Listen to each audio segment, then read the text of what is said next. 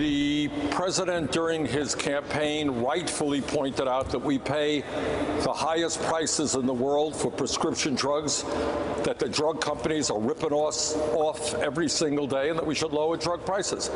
Uh, I have introduced, and other people have introduced, very serious legislation that would take on the pharmaceutical industry, substantially lower prescription drug costs in the United States. President has talked about it. Mr. President, come on board. It is absurd that one out of five Americans cannot afford the medicine their doctors prescribe.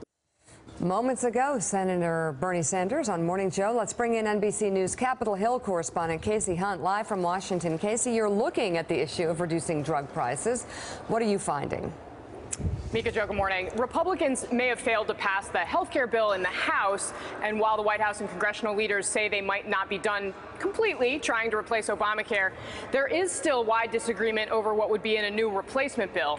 Uh, still, President Trump has put a very special focus on prescription drug prices. He met with Democrat Elijah Cummings at the White House to talk about it. If he does try to change the system, then big pharmaceutical companies would wind up in the spotlight and the crosshairs, basically. Uh, remember Mylan? They raised the price of the EpiPen allergy medicine by more than 400 percent from 2007 to 2016, and they got raked over the coals for it. After Mylan takes our punches, they'll fly back to their mansions in their private jets and laugh all the way to the bank. While our constituents suffer, file for bankruptcy, and watch their children get sicker or die. So as they're gearing up for the fight, drug companies like Mylan are arguing that they only have one side of the story. Meet Bob. His family's pretty healthy and he has health insurance. Last year, he paid $25 at the pharmacy counter for his daughter's EpiPen, the copay on the front of his health insurance card. But his plan changed last year, partly because of Obamacare. Bob became one of the 51% of Americans in an insurance plan with a high deductible. And this time, Bob hasn't hit his $2,000 deductible when he goes in for the EpiPen. So the pharmacist tells Bob he owes over $600, the list price of the drug. Bob can't afford this. So why is it happening? Yes, the drug company has been raising prices, but a big part of that is the price of the middlemen, like the pharmacy benefit managers who work directly with insurance plans. They negotiate lower drug prices from drug companies in exchange for keeping those drugs covered by big plans. For people on those insurance plans, it translates into a lower premium. But the discounts cost the drug companies money, so they raise the overall price of the drug for everybody else. If you're Bob, it just feels like you're paying $600 today for a drug that used to cost 25 bucks. So Obamacare has pushed many more people than before into these high deductible plans. It was a problem Congress said it wanted to solve, but in the meantime, everyday consumers are getting a glimpse of drug prices that have been warped by a system that they weren't really supposed to see, or at least one that drug companies didn't want them to. Mika. Kasie, thank you very much. And I like Bob's red face because I exactly. feel that way too. Very well done. All right, Kasie, thank you. Let's bring into the conversation the CEO of Mylan, Heather Bresch. And CNBC's Brian Sullivan is also with us. And you were talking about those middlemen like um, Express Scripts. Yeah, I don't want to pick on them. I mean, process, Heather. There were a couple of them. Yeah, Heather could lay it out herself. She did eloquently on CNBC a couple times. I mean, and nobody's saying that drug price hikes are okay. The point, I think, Kasie, I thought that was awesome. Yeah. Which I thought of it, which yeah. is that Americans, and you could talk more to this, because we're paying more out of pocket. Mm-hmm. We think prices are going up even a lot more than they are because it's all it's all cash. And everyone so, blames so, so, Heather talk, on the EpiPen. So talk about talk about the middleman, and also talk about how there are so many prices that are fixed into the entire system mm-hmm. uh, that drives the prices up for everybody. Well, first, thank you guys because it's complicated and it's easier not to talk about because to fix it is going to require a heavy lift across the entire supply chain. What's the first thing we do?